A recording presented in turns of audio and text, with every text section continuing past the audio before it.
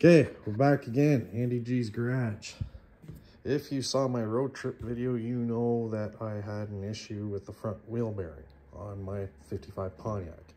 Now, being that it's a Canadian Pontiac, it is on a Chevy chassis. So it's basically a 55 Chevy. What I discovered while hunting through many, many parts stores, making phone calls and whatnot, then eventually finding a used hub with uh, used bearings in it so that I could drive it another, oh, eight, 900 miles home was that the old style ball bearings are no longer available.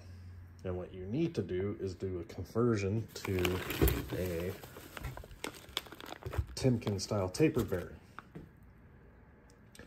which are actually shared with 61 to 68 Chevy full-size cars. Now you can use the full-size hub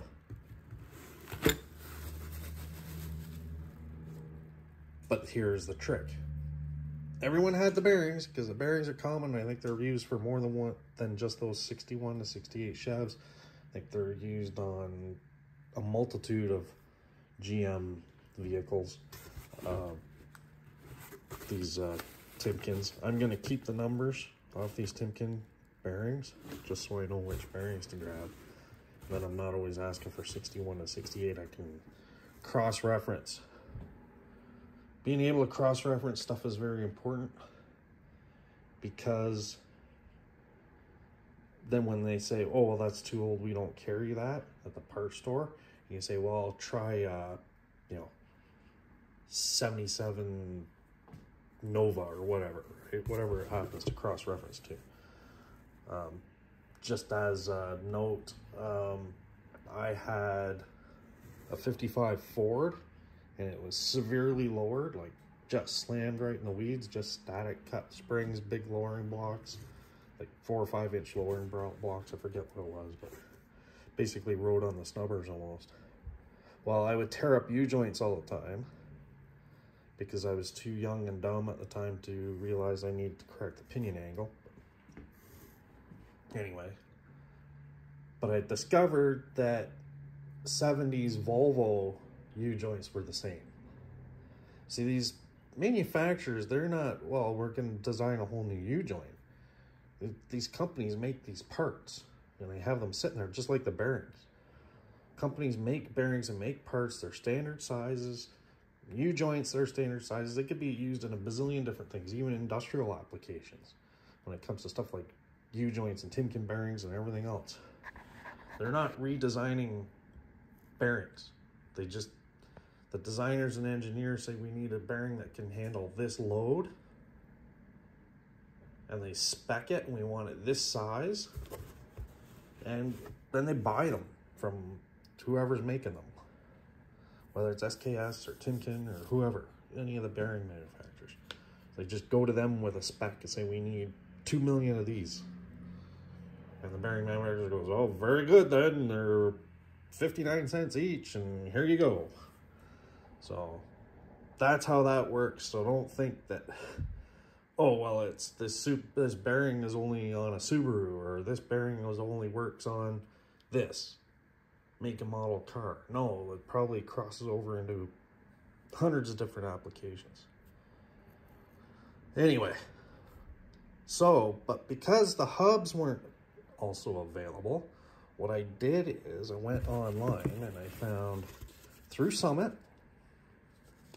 and this is not sponsored, but I order things through Summit because with orders over $300, I get free shipping to Canada. So, and I think my duty costs were only like, I can look at the bill here.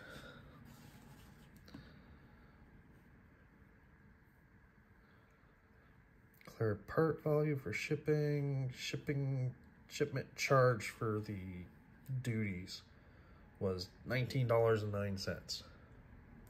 Had similar stuff shipped through UPS that, and then they want a friggin' $150 brokerage fee or some BS. So that's why I almost exclusively use Summit. Speedway, get on board with this. If Summit can do it, you guys can do it too. There's lots of stuff I'd like to order from Speedway. Anyway. So what I got was the aluminum hub kit. I'll put a picture of it in the video here. Um, perhaps a link to it as well on Summit site. Like I said, I'm not sponsored, but the value was there. It, uh, the kit was $240.99 from Summit. Which, yeah, we'll show you here. Um, but it's uh, CPP, which is uh, classic performance product.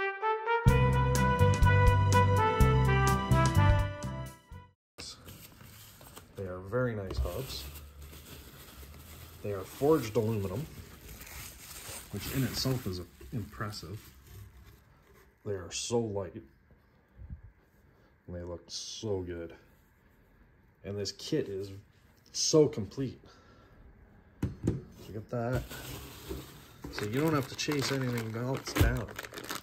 So you got so in here, in this bag, there's the seals, the dust caps. Now I've heard these dust caps don't exactly fit great into the hubs. That's okay, we'll figure it out.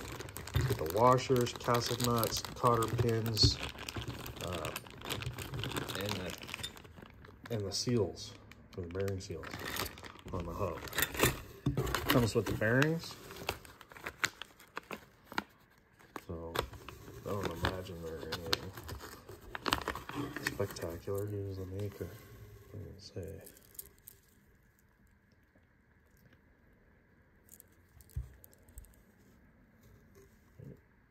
Then we got LM67048.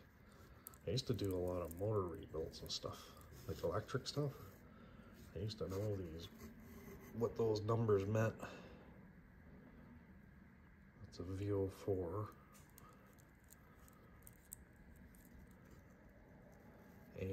AM50. So, whoever that is, I don't believe that's a Timken bearing, but it's Timken style. It's a tapered roller. The reason we all call them Timken, Timken's a trade name, brand name like Kleenex, and we call facial tissues Kleenexes. Timken had the patent for these for the longest time.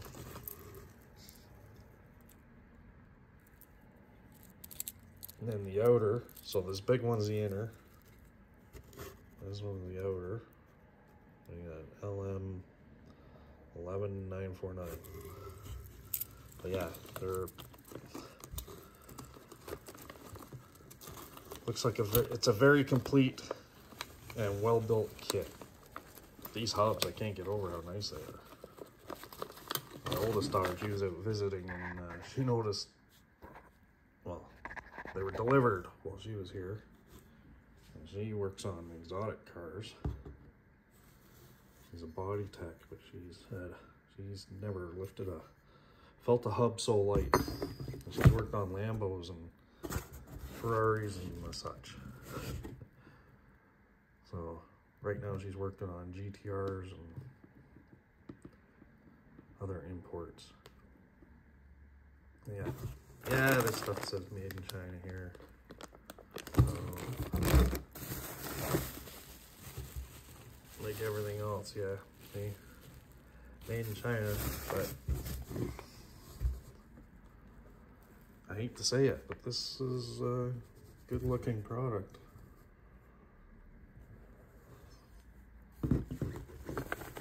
anyway, next step is take it outside and uh, put them on. I'll take you with me. Okay. 55 Pontiac. So the first step, we need to get this thing jacked up. Actually, I'm going to turn it around so it's facing the other way in the driveway. But yeah, we get it jacked up, get the wheels off. Oh, one thing I didn't mention is if you're doing it on one that is stock and hasn't been taken apart before, the drums will be riveted to the old hubs you're gonna reuse the drums, you're gonna have to drill out the rivets. I think mine have been drilled out both sides. Not sure. Pretty sure they have. Um, but anyway, that's what you'll have to do. Just simple, drill the rivets out, and then you can throw the drums over these uh, new hubs. Okay, let's get to her. Okay, first step. Oh, highly recommended one of these kneeling beds. Yeah, anyway, first step, take the wheel off. I got it jacked up. Just the one that gave me hassle out in BC, Vancouver. Start rattling out hope. And when I was putting it back together, I broke one of these wheel studs off. But oh, new hub solved that problem too. This of the road. Oh. Okay, I need a screwdriver to knock that off. Okay, I'm back. Here's the handful of tools you're gonna need. Side cutters, I use that for pulling the cotter pin. Same with the pliers, screwdriver, and adjustable wrench. Get you on the tripod. I'll get busy.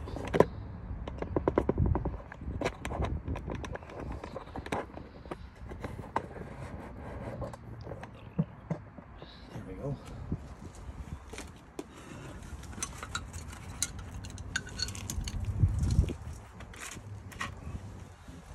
Now this has been off not too long ago, but you may find that you have to adjust the uh, star wheel for the brake shoes to pull them in.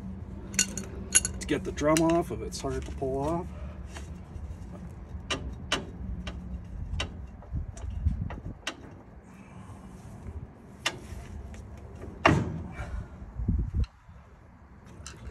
Do this.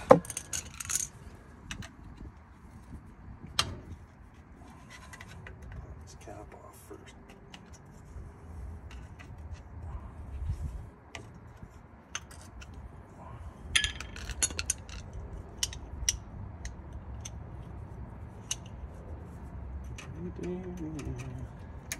Cotter pin.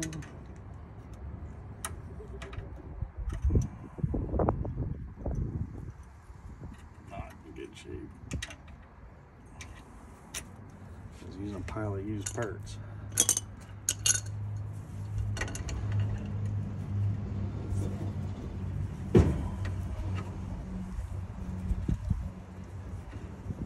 The difference in uh, ball bearings and the Timken style rollers too is in preload. Ugh, this is gonna be messy. I'm gonna grab some rags.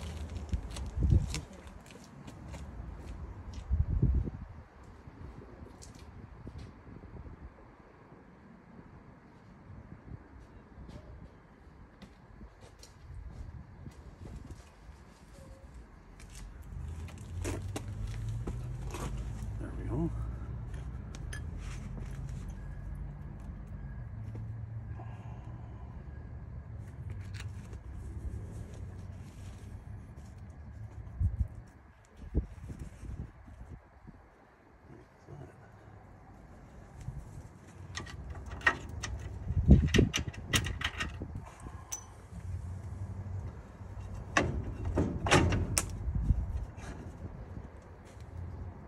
That's the old roller style bearing. These are still good, so I'm gonna, I'll keep them somewhere.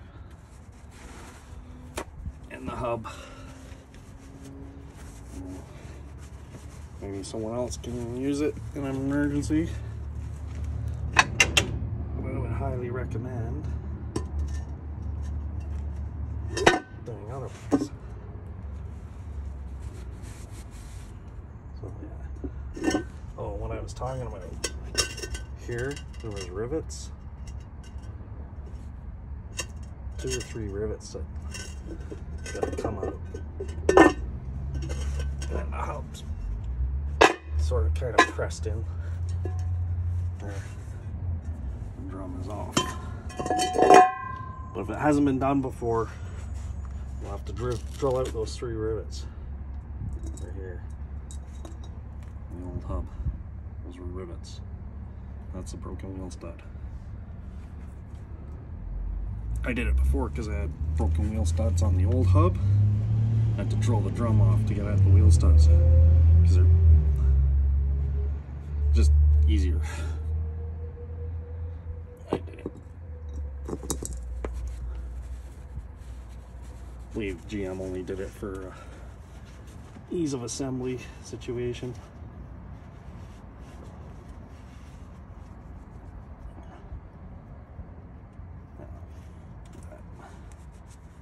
Race that's for a ball bearing to come off.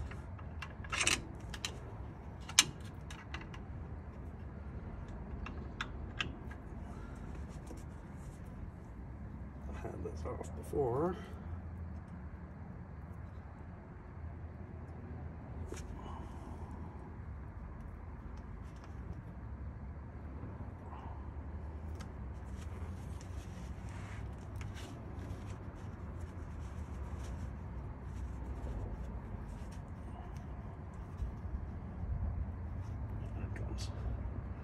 It's kind of a bit of a suction situation with the grease. Be careful not to scratch the surfaces. There. Now we'll clean this up. grab some brake clean.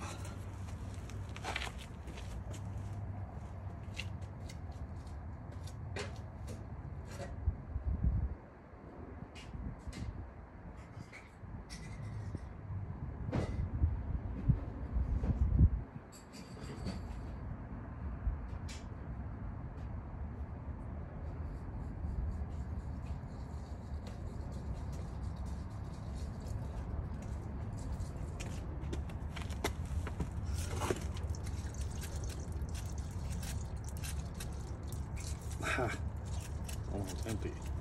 Yeah, that's all we need anyway.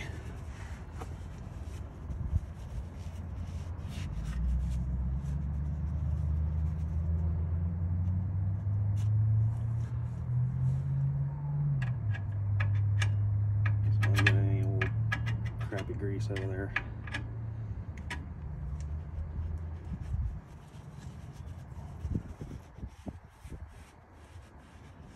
And thank goodness my spindle, well not perfect, there's a couple small marks, but it didn't get the snot beat right out of it when that roller bearing went on my trip.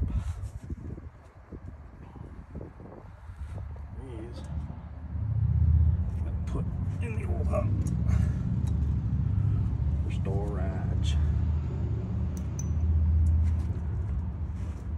The new uh,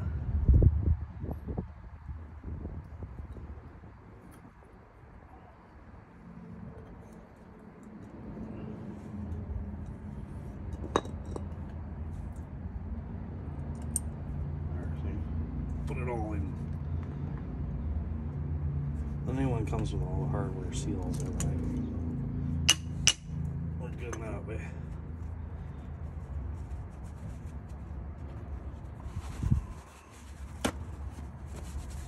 Okay, new hardware. I knew I didn't buy grease. I already had some. I had it thrown in the trunk. The stuff I use for an EP2, right? It's a premium multi-purpose. Grease, and for this, we're gonna need one large and one small. First, not up there.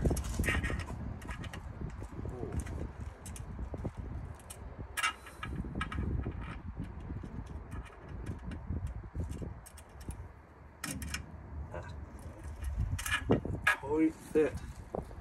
If there is marks in yours, you might have to hit it with some emery cloth to kind of take any marks off, and then this one's just going to sit in here.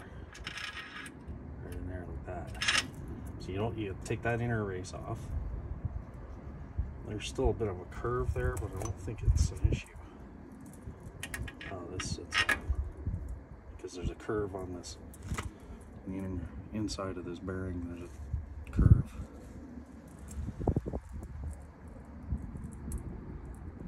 But you gotta pack them. Grease packing time.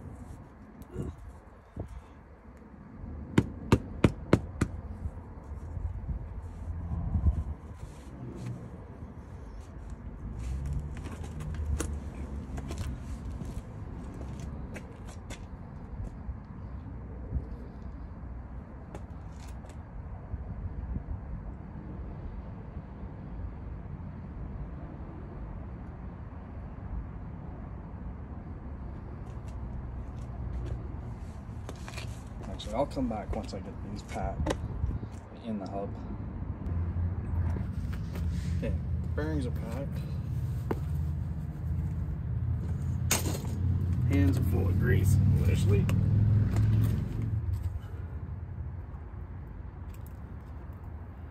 Not one of my favorite jobs to do.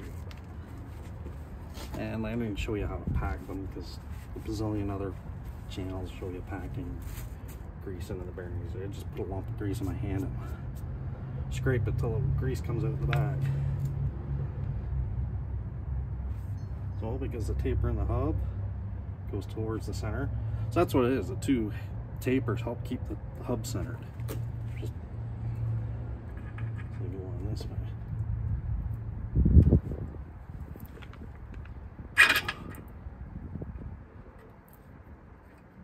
There. Gonna be perfectly square. Slide right on.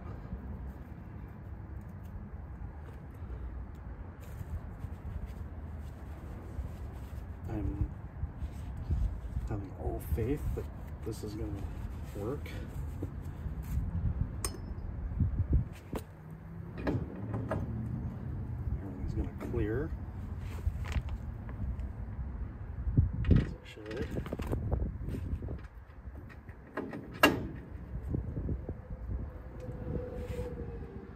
This is easy, anyone can do it. If you can change a tire, you can change this. The rest of the hardware. Oh, see? Already forgot something. Already forgot something. So I used to using used junk to seal.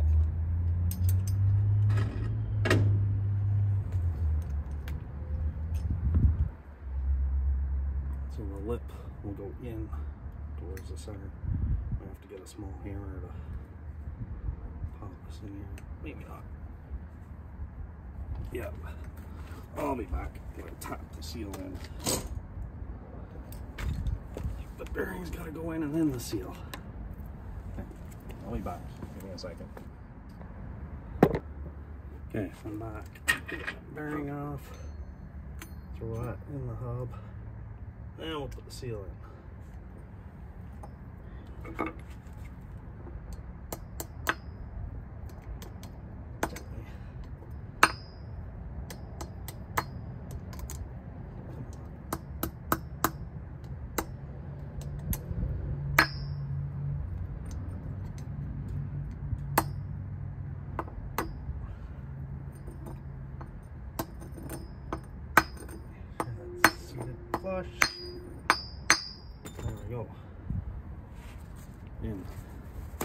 so that seal's got to go in before the bearing, or the bearing's got to go in before the seal.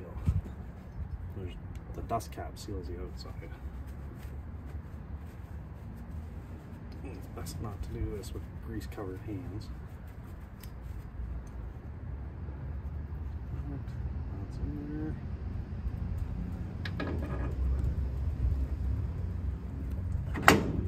There, boom. Um,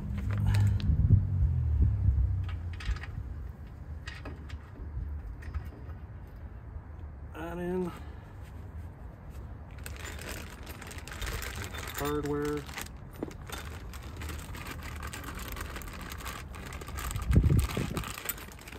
comes with castle nut. And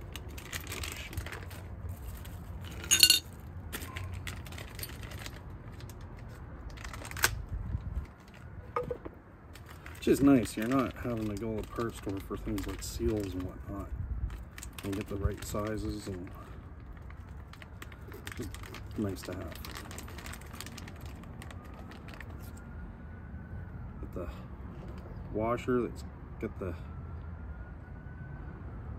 tab in it for the keyway.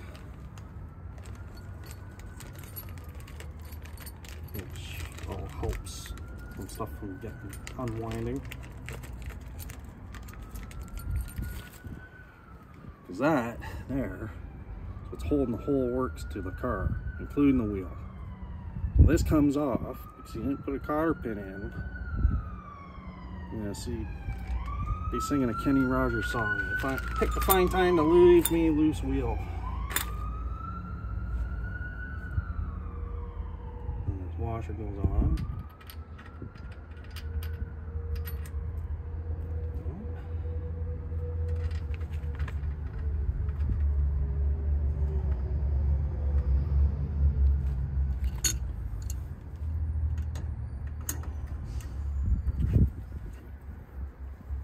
started here. Looks like there's a little burr on that nut or something. Some dirt. Or...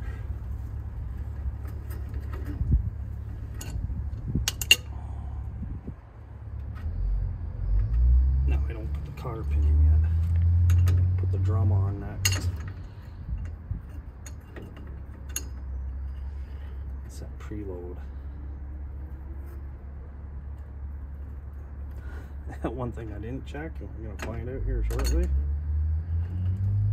is whether or not my wheels fit over these hubs. Okay, that's too bad.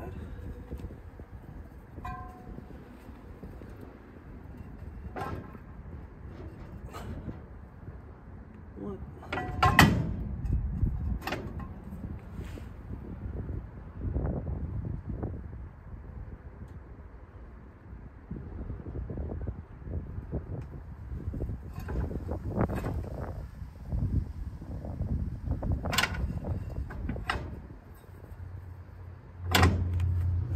thought for a second, ow! Piece my finger. Thought for a second there I had the wrong bolt pattern. Let's see, that's a little more drag than that.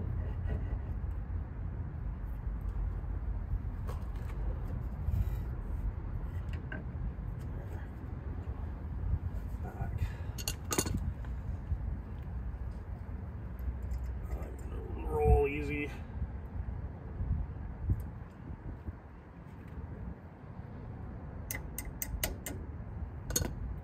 in.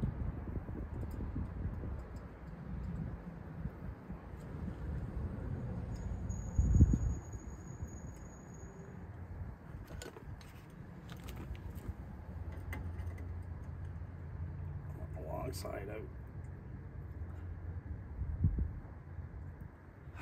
Come on.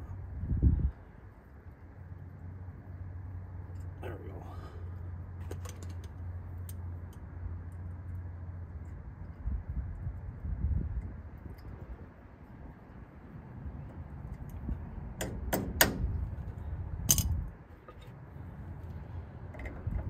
tail off. It's cap time. Now I've heard a lot of these, these caps don't fit. That was a complaint.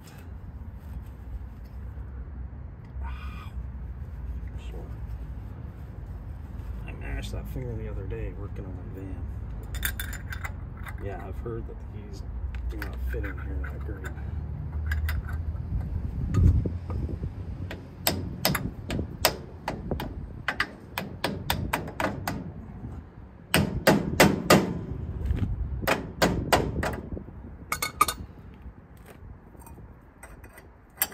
Oh, that's too big. Okay.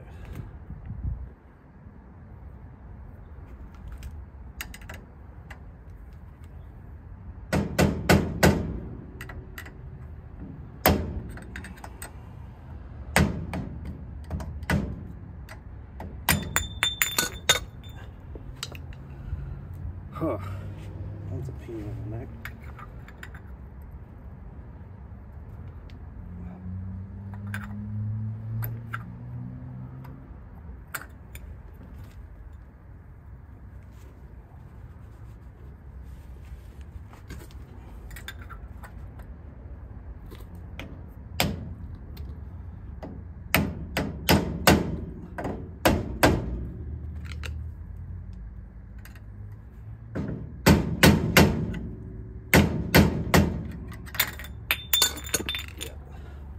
So I think I'm gonna do is I'm gonna put a little relief cut on either side. I'll be back.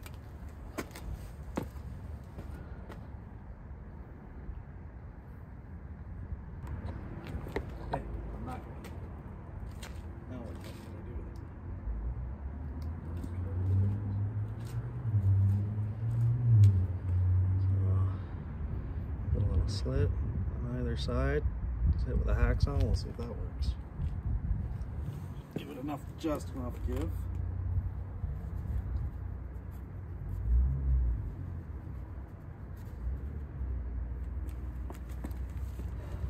Hopefully.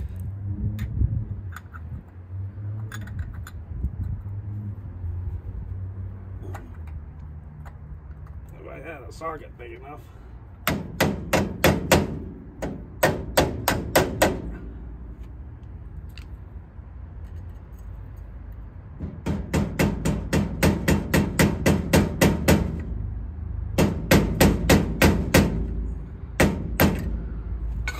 Bugger.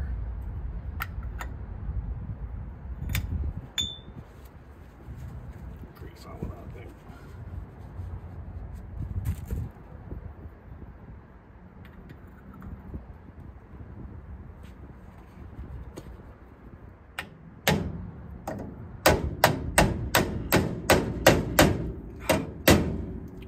Oh, up. Damn it.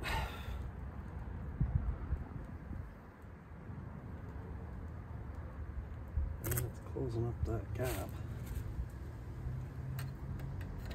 Maybe a couple more relief cuts. Oh, no.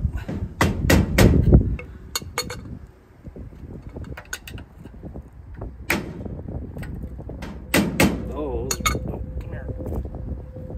Blowing around. in the wind. Those will be fun to get off. At least they won't fly off which the old style that go over top of the hub. Hence why the one on the other side is missing. Has happened. Now, I put my lug nuts? I want to make sure these fit. All the threads are good, good.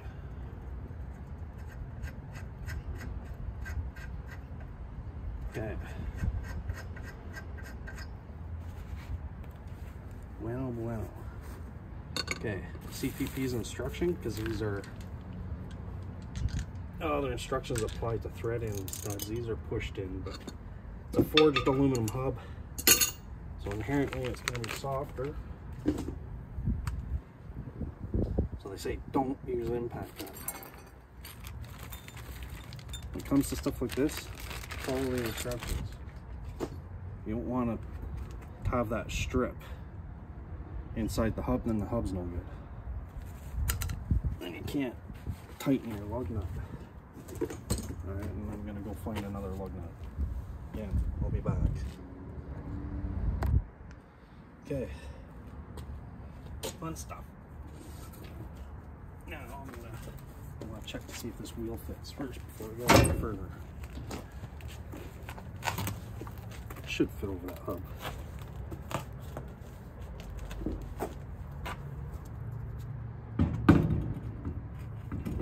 Come on. There we go. Actually looks good too. Of a rusty crusty hub, now I just got a nice aluminum hub. Oh, that's the other thing we gotta check. Oh, very interesting.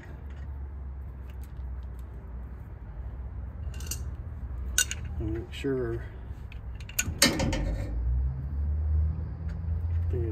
uh, wheel nuts lug nuts are gonna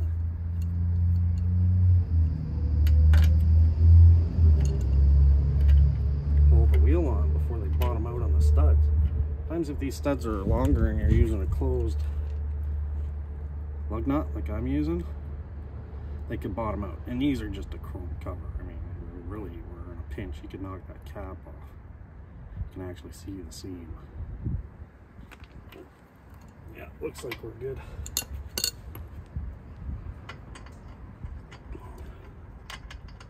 Finger tight all these on.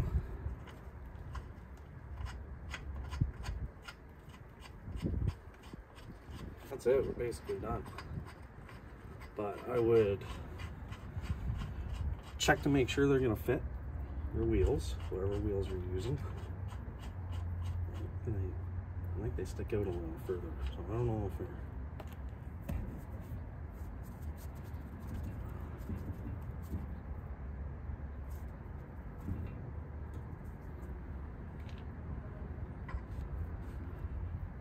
using a, some kind of aftermarket wheel.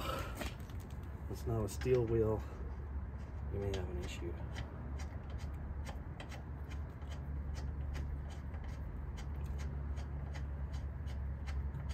But so far, I'm very happy. It was very easy to change, very easy to do. The kit is very, very complete, which is uh, nice, very nice.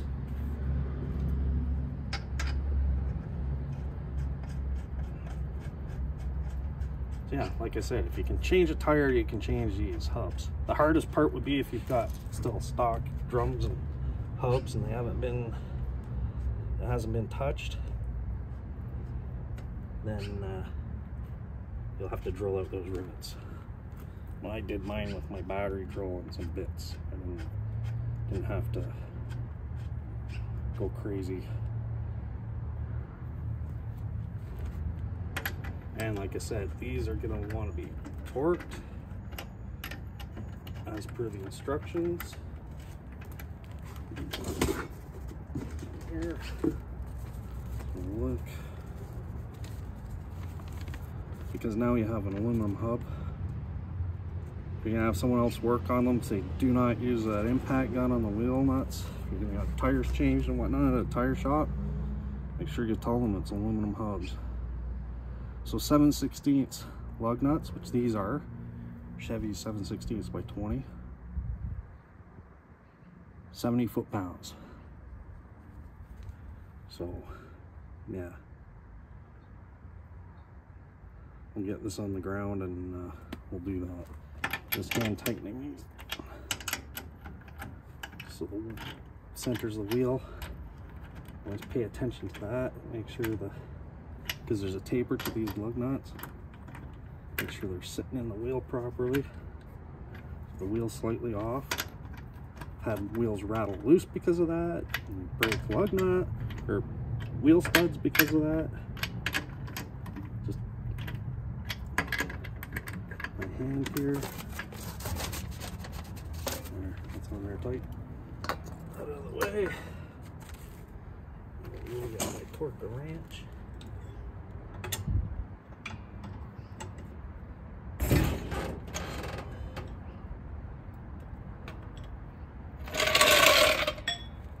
these up.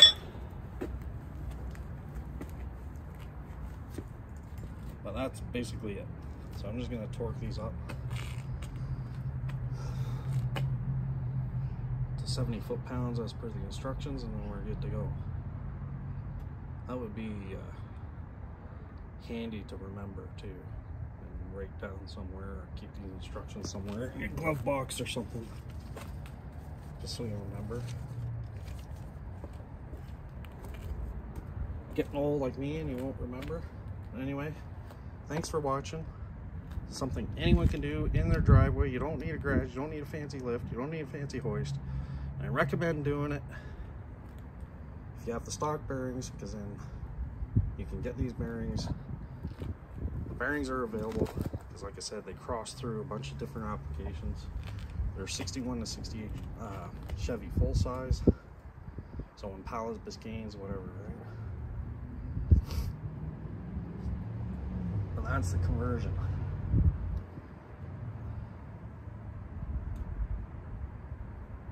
So that is that. Like I said, I'm gonna say like, share it, subscribe, and thank you very much for watching this far. If you got here to the end, fantastic. Have a great day and drive your stuff, wrench on your stuff. Even do minor stuff like this. You might not be doing engine swaps, but if you can do, you can change a tire, you can do this. Change your oil, you can do this. It's not complicated, don't be afraid. Do it before you get stuck in the middle of nowhere with shitty wheel bearings that you can't find parts for.